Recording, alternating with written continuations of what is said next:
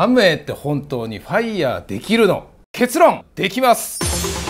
リフォームや空室率を気にしながら負債にならないっていうことはない。今や普通預金0.001%上位2割の投資家に入っていく。1億円の元手が必要になる。